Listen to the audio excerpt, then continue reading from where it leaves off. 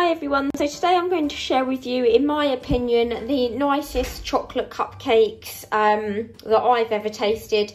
It's based on a Nigella recipe for a chocolate fudge cake, but I actually make it, um, I have made it as a whole fudge cake, but I also make it now as cupcakes and they're going to be reindeer cupcakes. So I'll quickly run through the ingredients and then I'll kind of show you step by step what you need to do. So um, I've got some butter here, which is going to be melted. There's 175 grams of butter. Um, I've got 125 millilitres of corn oil. You also need some sour cream. So I think the recipe says 142 uh, millilitres. This is 150 ml pot. So I tend to just use, I mean, apart from the sort of scrapings, um, it's pretty much the whole pot. So um, I just get one of these small pots. But if you've got a big pot, just weigh out 142 grams. I've got three eggs and then you need a mix of sugars. Now the recipe does actually say golden caster sugar, um, but I tend to use whatever I've got in. So I've got 100 grams of the light brown muscovado sugar, and then um, the rest is caster sugar, um, but you can use golden caster sugar. Um, and then I've got some cocoa, some bicarb and some baking powder in there.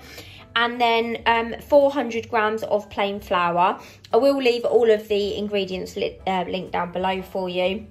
Um, and then to make the icing, you're going to need some icing sugar, um, 250 grams of um, butter, and then you need 175 grams of dark chocolate. Um, it does need to be dark really because if you use milk chocolate and then you've got all of the icing sugar, um, it ends up being far too sweet. So to make it fudgy, you do need dark chocolate.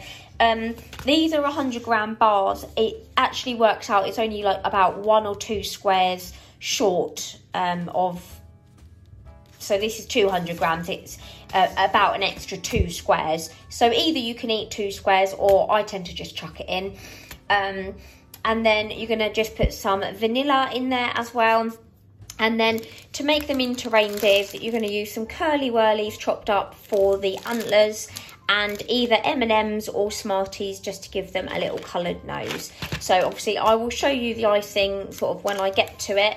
Um, but let's get started on the cake.